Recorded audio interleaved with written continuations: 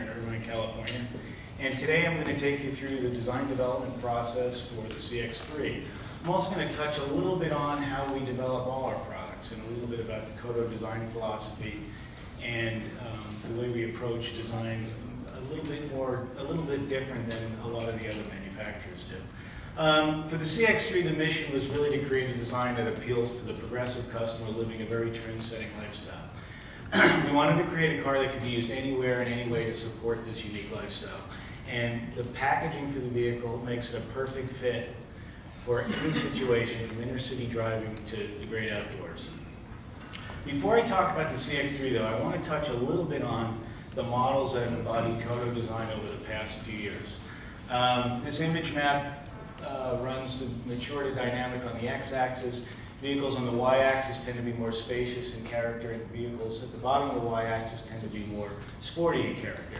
We began introducing our new generation of products with the CX-5, and we now have a product in every category.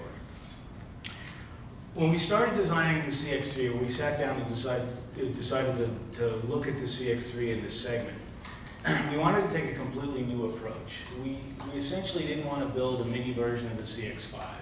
And conversely, we didn't want to build an SUV version of the Mazda 2. We really wanted to take this in a new direction. We wanted a vehicle that doesn't fit anywhere on this map. to give you some size reference, for example, with our current lineup of CX-5 and Mazda 2 and Mazda 3, the CX CX3 is, is much more cab rear proportion. It's also higher than a Mazda 3 and longer than a Mazda 2, obviously much smaller than a CX5. Um, in comparison to the competitor set, um, we are much more cab rearward. The vehicle is much lower, um, slightly shorter wheelbase, but we are comparable to the Juke, for example, in the all-important rear headroom. So we haven't really sacrificed interior volume for, for style. Um, again, with this vehicle, we really wanted to combine practicality with everyday use. The other thing we looked at with the vehicle, because it's kind of a, a, new segment, is we wanted to look at the H-point location. The H-point location, for those of you, is the seat height or your hip point when you're in the vehicle. And we, we wanted to make sure that we found the perfect H-point for this vehicle. Um, a high H-point has its advantages. It's uh, basically a better view of the road, as you guys all know mitigates the feeling of speed, which is good for the passenger. And you guys will find out today when you're on these twisting, turning roads how, how advantageous it is actually. And also being higher up doesn't distract the driver from oncoming headlights. Conversely, a lower H point is more for sports cars. It gives you a better feel of the car. You feel more in control, more, more command of the vehicle because you're sitting lower in the vehicle. And it gives you a much more stable eye point. We also take into consideration ingress and egress. Um, you know, again, if it's too high, it's hard to get in and out of the car, and if it's too low, it's hard to get in and out of the car. So what we did is we plotted these three areas and these three specific target zones for us, and we came up with the sweet spot, which essentially is, is the ideal balance of the key values of a high H point, a low H point, and entry and exit of the vehicle. So this is the sweet spot we found. So it's, it's I don't want to say it's a high H point, it's not a low H point, it's slightly higher than what's standard, but it's in a great zone for give you great drivability, good feeling of the vehicle. you know, we talk about a new presence, and this is obviously a new vehicle, and it's, it's a it's a growing a new growing segment. Um, with this car, we aim for a presence that defies the category. We didn't just combine elements from different categories, but came up with a vision that went beyond the boundaries of the category to design a car with a new type of presence. With the CX3, we aim for design that honestly, we wanted a car that's genuinely beautiful, but very well proportioned, while maintaining compactness and everyday practicality. So how did we do that? Well, we looked at, we sat down, we thought, okay, what do, what do we want to create when we develop this car? Obviously, we know what the size of the vehicle is going to be to some degree, but we have to give it this kind of unique character to it. So in order to go beyond the boundaries of the segment, we focused on a theme called expressing beauty genuine beauty with a cutting edge style. And in a way doing this for us meant going back to the starting point of car design. So to take you to that point, this is what I was mentioning earlier in the presentation, is that I want to talk a little bit about the CX3, but also to give you guys an idea of how we approach design for all our products. There's three key areas when we develop a product, proportion, surface, and details. The first key element is proportion. So what are the critical points for beautiful car proportions? And how do we achieve that? Well, we all kind of know what good proportions are. We see people, generally tall people, tend to be well proportioned. But we really wanted to understand what are the critical elements to give a vehicle good, good strong dynamic proportions.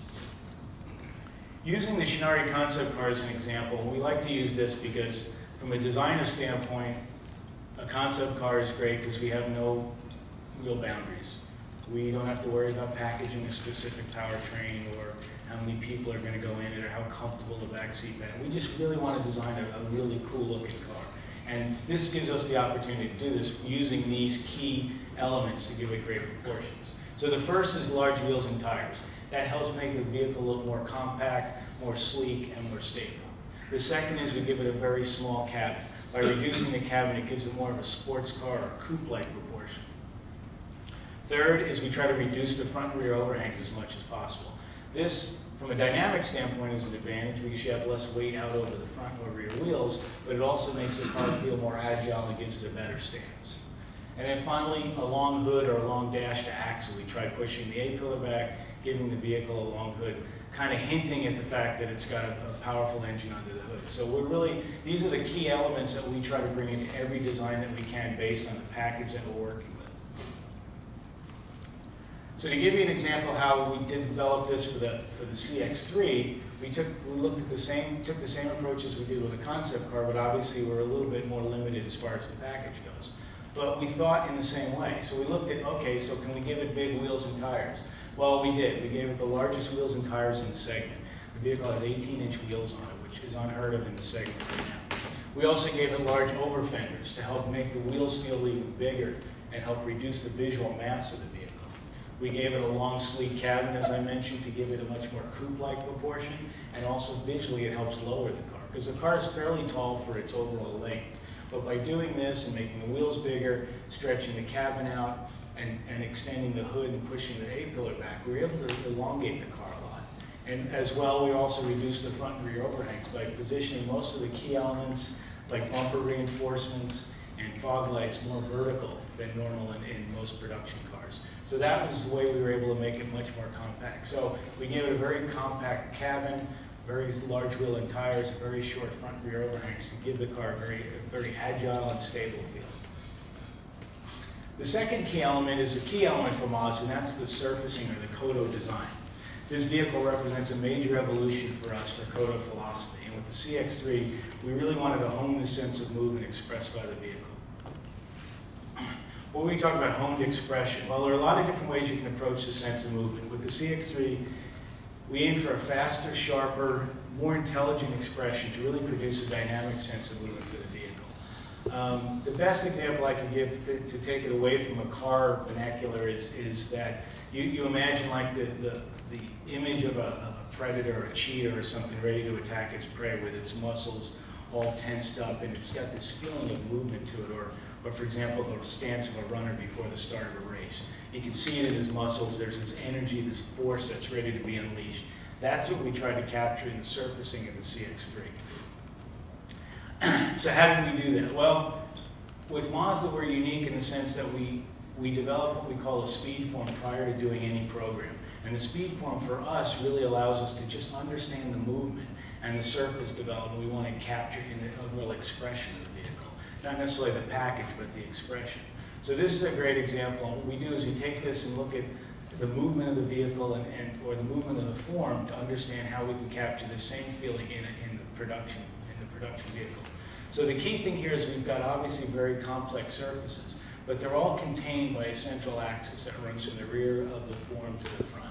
We try to reduce the, the front mass, if you will, over the front of the grill. We try to give it a traction form in the back, so by giving a lot of energy to the rear wheel, again, this gives the vehicle a kind of a forward momentum to it, and you can just see the stance of this object, how much energy it has in it. We also make sure that the surfacing, there's no one common section when you walk around this vehicle. It's got very undulating surfaces, and that's part of the Kodo design philosophy all this line diffusion, where you've got very full forms that then get into a tight, a tight line. That's what Kodo's all about, and that's what we're trying to capture when we develop these forms. And this gives us a really, uh, a very free uh, canvas, if you will, to develop the surface treatment.